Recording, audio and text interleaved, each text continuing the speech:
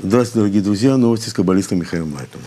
Добрый день. Вот американские психологи доказывают, что любви с первого взгляда не существует, но что она существует с четвертого взгляда. То есть они говорят, для формирования памяти необходимо не более трех свиданий. В ходе четвертого уже может возникнуть любовь. Ну, я не знаю, что они подразумевают под словом «любовь». Что это за определение такое? Чувственное влечение, э, гормональное какое-то влечение – интеллектуальная зависимость или сближение. Они говорят, что истинная любовь подкрепляется только приятными воспоминаниями о партнере. Это значит, что о человеке должно успеть сложиться нужная картина впечатлений. Поэтому они говорят четвертый раз. Ну, это сложно. сегодня они говорят, завтра кто-то скажет по-другому. Так что я думаю, что нам в этом разбираться нет смысла, потому что все, что касается человеческих чувств, это все сплошная химия. И разбираться в этом мы не можем, потому что это находится на очень глубоких уровнях в нашем подсознании. И поэтому здесь существует огромное количество эм, условий, причин для того, чтобы вдруг человека потянуло к другому человеку и так далее.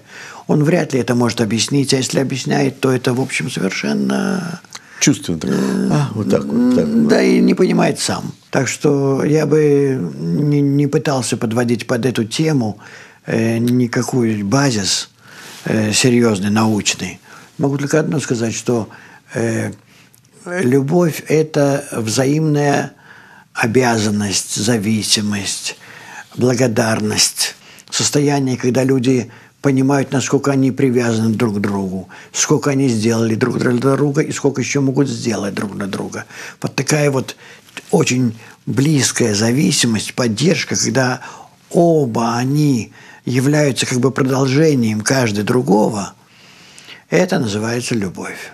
И это не имеет никакого отношения ни к сексу между ними, ни к каким-то другим взаимным увлечениям, к первому взгляду, ни к чему это именно то, что мы воспитываем в течение многих-многих месяцев или даже лет. То есть любовью называется, когда человек вместо своих желаний э, принимает желания любимого и наполняет их. То есть, когда Выше своих, а абсолютная любовь – это когда вопреки своим. Вопреки своим желаниям? Да, это абсолютная любовь. Но это совершенно иной уровень отношений.